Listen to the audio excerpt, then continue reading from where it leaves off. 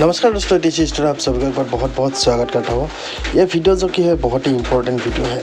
अगर बात करें आई एस एल के बारे में आई एस एल की ट्रांसफ़र न्यूज़ जो कि बहुत ही इंपॉर्टेंट इंपॉर्टेंट ट्रांसफ़र न्यूज़ आ रहा है, उन सारे न्यूज़ को देखने के लिए चैनल को सब्सक्राइब करके रखना और बहुत जल्द जो आपको हर एक ट्रांसफ़र न्यूज़ की अपडेट है, मिलने वाला है। फ़िलहाल आपको बता दो, आज की जो ट्रांसफ़र अपडेट है ट्रांसफ़र न्यूज़ है, बहुत ही इंपॉर्टेंट है और बहुत ही भाई ज़रूरी है, यह जानना। अगर आप आईएसएल की फ़ैन हो, अगर आप एफसी गोवा की फ़ैन हो, अगर आप नॉर्थ ईस्ट यूनाइटेड एफसी का फ़ैन हो, या फिर आप किसी भी टीम का फ़ैन हो तो आपको ट्रांसफ़र न्यूज़ जानना, या फिर ट्रांसफ़र अपडेट जानना बहुत ही ज़रूरी है। आपको बता दूँ इससे पहले भी मैंने इस प्लेयर के बारे में बताया था और अगर बात करें इस टाइम पे जो कि न्यूज़ निकल के आ रहा है, अगर बात करें इस टाइम पे लगभग लगभग कन्फर्म अपडेट है जो कि आई एस एल ट्रांसफ़र की न्यूज़ की तरफ़ से आ चुका है। इधर अगर देखा तो आकाश संगवान ज्वाइन कर चुका है एफ़ सी गोवा जो कि मल्टी ईयर्स डील बोल सकता हूँ। या फिर अगर बात करें भाई एक साल के लिए नहीं, दो तीन सालों के लिए ज्वाइन कर चुका है एफ़ सी गोवा और आने वाले टाइम पर एफ़ सी गोवा में